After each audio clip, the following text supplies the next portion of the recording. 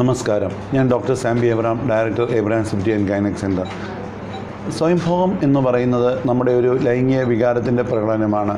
അത് നമ്മുടെ അമിതമായിട്ടുള്ള സ്ട്രെസ്സിനെ ഇല്ലാതാക്കി നമുക്ക് ലൈംഗികതയെ ആസ്വദിക്കാൻ നമ്മളെ സഹായിക്കും. എന്നാൽ അത് നമുക്കൊരു ഒരു ഒരു ഒരു ശീലമായി കഴിയുമ്പോൾ നമുക്കൊരു പ്രോബ്ലം ആവും അപ്പം പലപ്പോഴും കുട്ടികളെ ഒന്ന് ചോദിക്കാറുണ്ട് ഡോക്ടറെ എനിക്കതൊരു ശീലമായി പോയി ഇനി ഞാനൊന്ന് എങ്ങനെ ഉണ്ടാക്കുമെന്ന് അങ്ങനെ അതിൽ നിന്ന് വെളിയിൽ വരാൻ പറ്റുമെന്ന്. അപ്പോൾ തീർച്ചയായിട്ടും നിങ്ങൾക്ക് തന്നെ തോന്നുകയാണ് നിങ്ങളുടെ വർക്കിനെ അഫക്റ്റ് ചെയ്യുന്നു നിങ്ങളുടെ ബന്ധങ്ങളെ അഫക്റ്റ് ചെയ്യുന്നു നിങ്ങളുടെ ശുചിത്വത്തെ അഫക്റ്റ് ചെയ്യുന്നു നിങ്ങളുടെ നിങ്ങളുടെ വ്യക്തിത്വത്തെ അഫക്റ്റ് ചെയ്യുന്നുണ്ടെന്നാൽ തീർച്ചയായിട്ടും നമ്മൾ അതിൽ നിന്ന് വെളിയിൽ വരേണ്ടതാണ്. അപ്പം നമ്മൾ നമ്മുടെ ഇങ്ങനെയുള്ളവരിൽ എപ്പോഴും നെഗറ്റീവ് ഇമോഷൻസ് കൂടുതലായിരിക്കും. എല്ലാവരെയും എല്ലാത്തിനെയും പറ്റി ഒരു നെഗറ്റീവ് ഫീലിംഗ് ഒരു പോസിറ്റീവ്നെസ് അവരുടെ കുറയും. കുറയും എന്ത് കണ്ടാലും ഒരു പ്രശ്നത്തിന്റെ സൈഡാണ് അവർ ചിന്തിക്കുന്നത്. അപ്പം അങ്ങനെ വരുമ്പോൾ നമ്മൾ മറ്റുള്ളവരുമായിട്ടുള്ള ബന്ധം കുറയും. അപ്പം നമ്മൾ തൊഴിലിനിടയ്ക്ക് നമ്മുടെ ശ്രദ്ധ കുറയും. പഠിക്കുന്ന കുട്ടിയാണെങ്കിൽ പഠിത്തത്തിൽ അത് അഫക്റ്റ് ചെയ്യും. അപ്പം ഇങ്ങനെയുള്ള പ്രശ്നങ്ങളുണ്ടാവും അപ്പം അപ്പം ഇവിടെ നമ്മൾ മനസ്സിലാക്കേണ്ടത് നമ്മൾ ഇപ്പോൾ താങ്കൾ ഇങ്ങനെയുള്ള സൈറ്റുകൾ കാണുന്ന ശീലമുള്ളതാണെങ്കിൽ അങ്ങനെയുള്ള സൈറ്റുകൾ കാണരുത്. അങ്ങനെയുള്ള മൂവികൾ വെബ്സൈറ്റുകൾ ആ ഒരു ഹാബിറ്റിൽ നിന്ന് വെളിയിൽ വരുവാൻ പ്രത്യേകം ശ്രദ്ധിക്കണം. ഇപ്പം നമുക്കിപ്പോഴത്തെ വലിയൊരു കൗമാരക്കാരുടെ പ്രശ്നം ഫോണോഗ്രഫി സെക്കൻഡ് കൊണ്ട് അവർക്ക് എത്താൻ പറ്റും. ഇപ്പം നമുക്കിപ്പോൾ നമുക്ക് ചില ഫിൽറ്റേഴ്സ് ഉണ്ട്. അതായത് ഇപ്പം നമ്മളിപ്പോൾ ഈ ഫോണോഗ്രാഫിക് മെറ്റീരിയലിൽ നമ്മൾ ഇലക്ട്രോണിക് ഫിൽറ്ററൊക്കെ കൊടുക്കാൻ നമുക്ക് തന്നെ അത് നിയന്ത്രിക്കാൻ പറ്റും. എപ്പോഴും നമ്മൾ ആക്റ്റീവ് ആവാൻ പ്രത്യേകം ശ്രദ്ധിക്കണം. അപ്പോൾ നമ്മൾ ആക്റ്റീവ് ആവുമ്പോൾ നമ്മൾ നമ്മുടെ ആ ഔട്ട്ലെറ്റ് ഓഫ് എനർജി റിലീസ് വരുമ്പോൾ നമ്മുടെ ഈ ഈ താല്പര്യം കുറയും. നമ്മളൊരു പുതിയ കാര്യം പുതിയൊരു ഹോബി അല്ലെ പുതിയൊരു പഠിക്കാനായിട്ട് മ്യൂസിക്കൽ ഇൻസ്ട്രുമെന്റ് അല്ലെ പുതിയൊരു സ്പോട്ടിൽ ഇൻവോൾവ് ചെയ്യുന്നത് നമ്മളെ ഹെൽപ്പ് ചെയ്യും. നമ്മുടെ ജീവിതത്തിൽ പുതിയ ഗോളുകൾ വരുമ്പോൾ അതിലേക്ക് എനർജി ഫോക്കസ് ചെയ്യുവാനും നമുക്ക് സാധിക്കും. നമ്മൾ ശ്രദ്ധിക്കണം നമ്മൾ ഏത് സമയത്താണ് നമുക്ക് ഈ ഇതിന് താല്പര്യം കൂടുന്നത് ആ സമയത്ത് നമ്മൾ ഒരു ഒരു ആക്ടിവിറ്റി ഇൻവോൾവ് ചെയ്യുന്നതിന് നമ്മളെ സഹായിക്കും. എന്നിട്ടും നമുക്ക് അതിനെ നിയന്ത്രിക്കാൻ പറ്റുന്നില്ലെങ്കിൽ നമ്മൾ ഒരു നമ്മൾ മനസ്സിലാക്കണം ഇത് ക്രമേണ ഒരു ഒബ്സസീവ് കമ്പൾസീവ് ഡിസോർഡറിലോട്ട് നമ്മൾ പോവുകയാണ്. ആ ഒരു അവസ്ഥയിൽ നമ്മൾ എത്തിക്കഴിഞ്ഞാൽ നമ്മളൊരു തെറാപ്പിസ്റ്റിനെയോ സൈക്കോളജിസ്റ്റിനെ കാണണം. നമ്മുടെ നെഗറ്റീവ് ഫീലിങ്സ് നമ്മുടെ സ്വഭാവത്തെ പറ്റി നമ്മൾ പഠിക്കണം. അപ്പം ഇത് നമുക്ക് തന്നെ തോന്നുകയാണ് ഇതെന്റെ നിയന്ത്രണത്തിൽ അല്ലാത്ത വരുന്നെന്ന് തോന്നിയാൽ. കാരണം ഇങ്ങനെയുള്ളവർ പലപ്പോഴും ഏകരായിരിക്കും. അപ്പ- അപ്പോൾ അങ്ങനെയുള്ളവർ എന്ത് ചെയ്യണം? കൂടുതൽ സമയം മറ്റുള്ളവരുമായിട്ട് സ്പെൻഡ് ചെയ്യണം. നമ്മുടെ നമ്മുടെ ചിന്തകളുടെ ഫോക്കസ് മാറ്റുവാനായിട്ട് അത് നമ്മളെ സഹായിക്കും. ഉദാഹരണത്തിന് അവരുടെ കൂട്ടുകാരുമായിട്ട് ഫാമിലി അല്ലെങ്കിൽ നമ്മളൊരു ജിമ്മ് അങ്ങനെയുള്ള കാര്യങ്ങളിൽ ഇടപെടുന്നത് നമ്മളെ ഹെൽപ്പ് ചെയ്യും. എക്സസൈസ് പലപ്പോഴും സഹായകരമാണ്. ഓടുക സ്വിം ചെയ്യുക വെയിൽ ലിഫ്റ്റ് ചെയ്യുക. അത് നമ്മളിൽ ഉണ്ടാക്കുന്ന എൻഡോഫിൻസുകൾ നമുക്ക് ഒരു ലൈംഗിക ആസ്വാദനത്തിൽ കിട്ടുന്ന പോലെ തന്നെ നമ്മളെ സഹായിക്കും.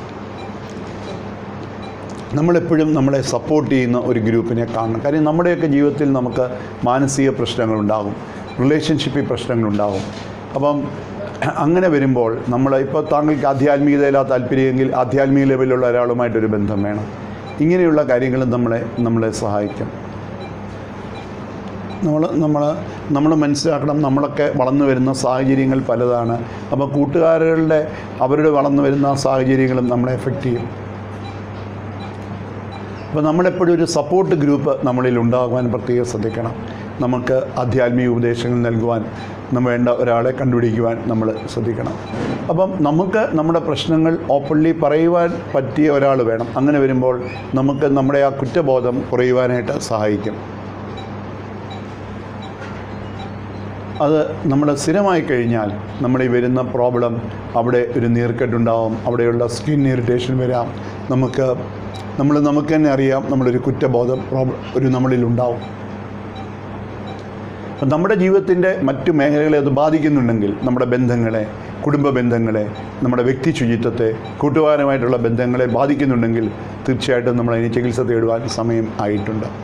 ഈ കമ്പൾസീവ് ബിഹേവിയർ വന്നു കഴിഞ്ഞാൽ തീർച്ചയായിട്ടും നമ്മളിൽ അതുതരം ഒരു നമുക്ക് മറ്റുള്ളവരായിട്ട് പൊരുത്തപ്പെട്ടു പോകാൻ പ്രശ്നം വരും.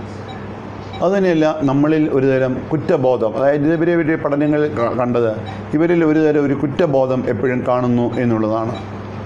ഇതിന്റെ ഒരു പ്രശ്നം ഈ കുറ്റബോധം കുറേ കൂടി അഗാധമായി കഴിഞ്ഞാൽ നമ്മൾ ആ കുറ്റബോധത്തിൽ നിന്ന് വിമുക്തി നേടുവാൻ ഒന്നുകിൽ നമ്മൾ ഡ്രഗിലോട്ട് തിരിയും അല്ലെങ്കിൽ നമ്മൾ ലഹരിയിലോട്ട് തിരിയും. അതാണ് ഇന്നത്തെ യുവതലമുറ ഫേസ് ചെയ്യുന്ന ഏറ്റവും വലിയ പ്രോബ്ലം കാര്യം അവന് വീട്ടിൽ അവൻ എക്സ്പ്രസ് ചെയ്യാൻ പറ്റുന്നില്ല.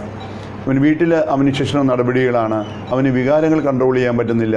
ഈ രീതിയിൽ വികാരങ്ങൾ കൊണ്ടു നടക്കുമ്പോൾ ക്രമേണ അവന് ഒരുതരം മാനസിക പ്രശ്നങ്ങൾ വരികയും വീട്ടുകാർ അംഗീകരിക്കാതെ വരുമ്പോൾ മനസ്സമാധാനത്തിന് വേണ്ടി ഒന്നുകിൽ ലഹരി അല്ലെങ്കിൽ ഡ്രഗ്സിലോട്ട് തിരിയുമ്പോൾ അവനെ കുറേ കൂടി പൊരുത്തപ്പെടുന്നു എന്നുള്ളൊരു ഫീലിംഗ് വരും.